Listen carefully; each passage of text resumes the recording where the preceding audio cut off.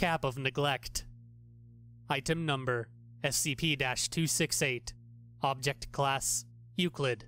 Special Containment Procedures SCP 268 is currently to be maintained within Data Expunged, as it has been deemed that the change of use for facilitation of escape by restricted personnel or humanoid SCP is too great. However, the possibility of use by field agents after further testing is under review. See Addendum 268 5.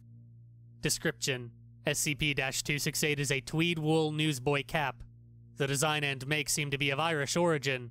Due to the style and fabric, it is estimated to have been created in the late 1800s to early 1900s, though fiber analysis is inconclusive. The only markings on the cap are a small label with writing in Middle Irish, reading, The garden is in the serpent's place. However, there are various indications that this label was sewn into the cap in recent times. Due to the nature of the artifact, testing has been extremely difficult. SCP 268 seems to be a normal hat until it is worn. Anyone wearing the hat, however, becomes suddenly and instantly unnoticeable. Subjects become unmemorable, though ignorable, or taken for granted by all observers. Observers, with specific prompting, are able to later recall physically seeing the subject, but can give no specific details other than seeing a man with a hat. Observers seem to have the overwhelming feeling that the wearer is someone that was supposed to be there, and thus did not merit thought or notice. During initial testing, remote analysts completely forgot what they were supposed to be observing within the chamber, and it was not until the D class subject wearing SCP 268 spoke out loud that he was noticed again.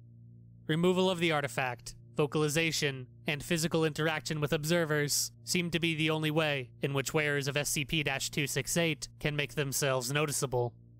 Once an observer has been made to notice a SCP 268 wearing individual, they slowly begin to ignore the subject once more unless kept actively engaged by the wearer. Testing reveals that if a subject wears SCP 268 upwards of 20 cumulative hours, its effect seems to linger with diminished potency on the subject, even while not wearing the artifact.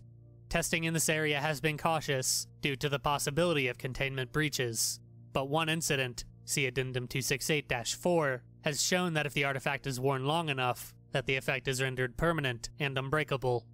Extensive research is still unable to determine whether or not electronics are directly affected by SCP 268.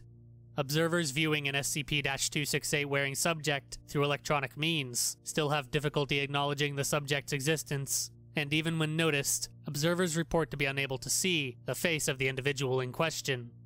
Observers note pictures of SCP 268 wearing individuals as being blurry and digital media, such as surveillance cameras, is reported to become grainy and unfocused.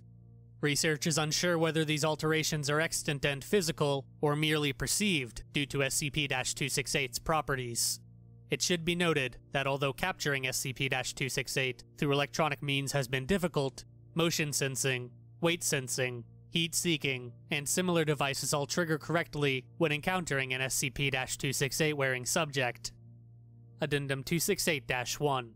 SCP 268 is noted to have some similarities to SCP 180.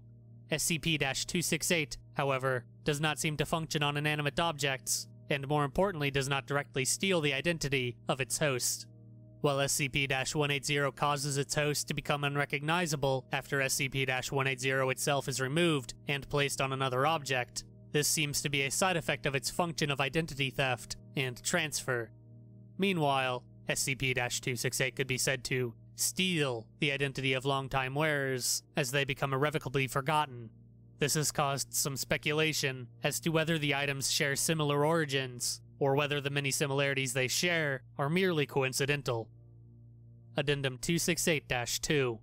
At Agent Blank's request, and after approval by Dr. Blank and Dr. Klein, SCP 268 is being used with agents in active field duty Results thus far have been favorable. Addendum 268 3. Field testing has been suspended. Though Agent Blank appears to have been on payroll and on records, no personnel, either on Site Blank or in higher command, remember knowing or hearing about an Agent Blank. Further tests should be conducted only on D class personnel and on no single individual for longer than 10 hours. Addendum 268 4. SCP 268's effects seem to strengthen and become permanent as individual subjects wear the artifact for extended periods of cumulative time. There is a marked difference in the potency of SCP 268's effect on someone wearing it for the first time and someone who has worn the artifact upwards of 5 hours on other occasions. For example, someone who has not worn the cap before seems to dispel its effects merely by speaking, those who have worn the artifact on several occasions for extended amounts of time seem to be able to ask observers questions and receive answers, with the observer having little to no recollection of the event. In one test, a subject who had worn the artifact for upwards of 15 hours was able to ask standing personnel the test chamber's password, nearly causing a containment breach and the escape of D-class personnel. The security personnel in question reported being unable to recall parting with the information in question. Dr. Klein. Addendum 268 5 as of blank, SCP 268 is missing. Its absence was discovered early in the morning by Agent blank and research analysts, and in its place was a note reading, Thanks, I needed my hat back. LS. A full investigation of this security breach has been launched as of blank. Refer to data expunged.